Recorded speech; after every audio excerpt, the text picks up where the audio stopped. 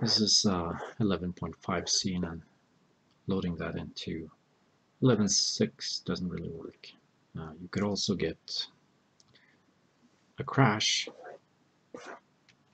once you open or edit FiberFX. Let's see. Um,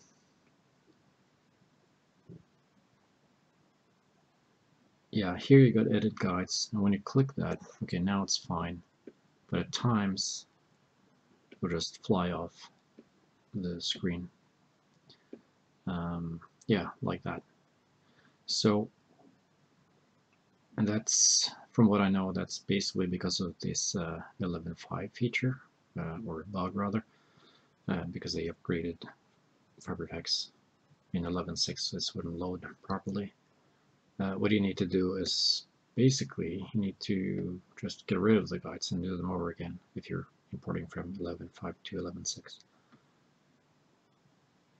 So um, just click a new one, v2, why not? Uh, did that work? No. Remove. Remove.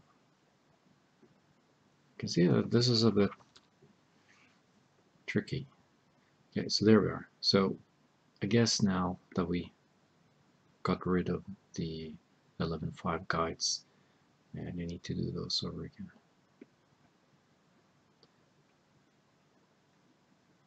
So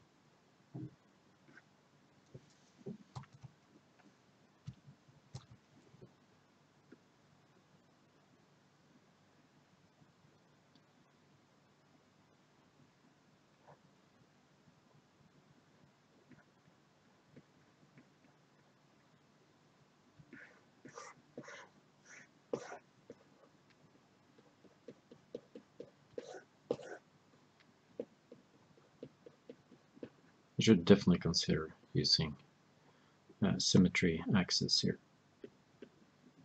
But I'm not going to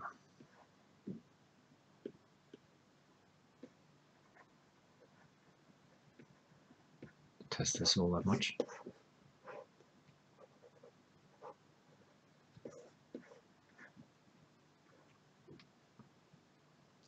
Not really a big fan of doing this in um, layout. The, the controls are certainly so-so.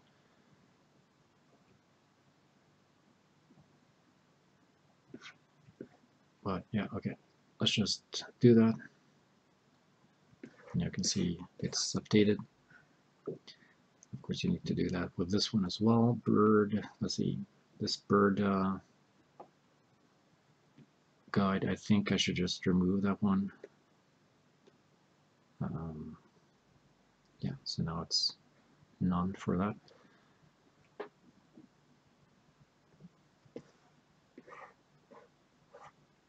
So anyway, that's that's how you fix it if you import an 11.5.6, uh, 11.5 scene into 11.6.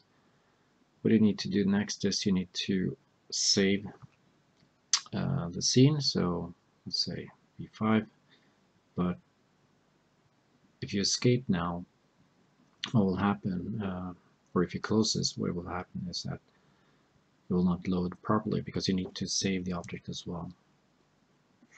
So not only do you need to save the scene, but you also need to save the object.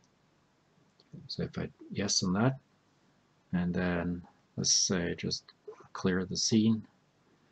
Now let's open that again. Hopefully this should load, yeah, correctly. So that's how you can do that.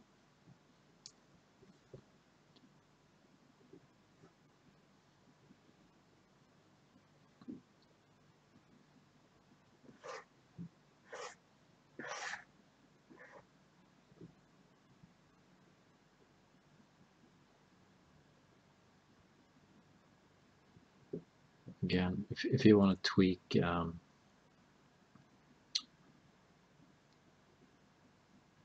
you want to tweak the guides then in layout it's a rough way of doing it and it, it can work if you your subd level is not too low. I mean if your subd level is really cagey then you'll get into problems using that tool. And also if you want the feathers to follow really really closely the, the actual object then doing it in layout is kind of like tricky. But for rough objects like this, then it's then it's okay. It works all right.